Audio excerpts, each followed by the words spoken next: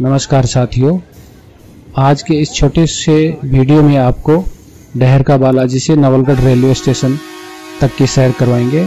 नवलगढ़ शेखावाटी में अपनी एक खास पहचान रखता है, साथ ही विदेशी पर्यटकों में भी ये खासा लोकप्रिय है, क्योंकि यहाँ पर हवेलियों और उनके भित्ति चित्रों को लेकर के विदेशी पर्यटकों में खासा रुझान देखने को मिलता है। तो ये नवलगढ़ का रेलवे स्टेशन है। यहाँ पे ब्रॉडगेज लाइन आने के बाद इसमें अच्छा खासा परिवर्तन देखने को मिला है। नवलगढ़ की इम्पोर्टेंस अंग्रेज़ी शासनकाल में भी अच्छी थी। अभी भी यहाँ पे यात्री भार अच्छा है और स्टेशन पे सुविधाएँ हैं। अच्छी खासी सुविधाएँ आपको देखने को मिलेंगी।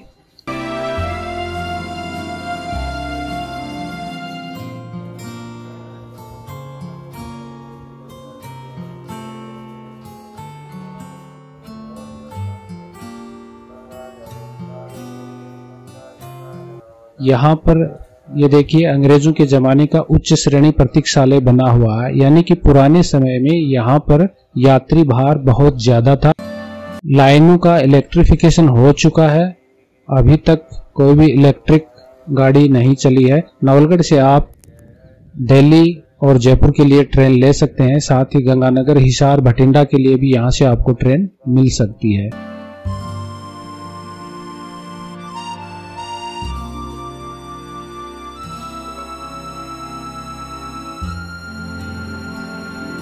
तो अगर आप नवलगढ़ आना चाहते हैं तो रेल के माध्यम से आप जयपुर से और दिल्ली से भी नवलगढ़ का सफ़र कर सकते हैं।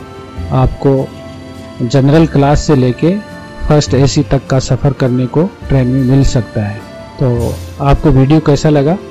वीडियो को लाइक करना, शेयर करना, कमेंट करके बताना कि वीडियो में ये वाला पार्ट आपको सबसे अच्छा लगा।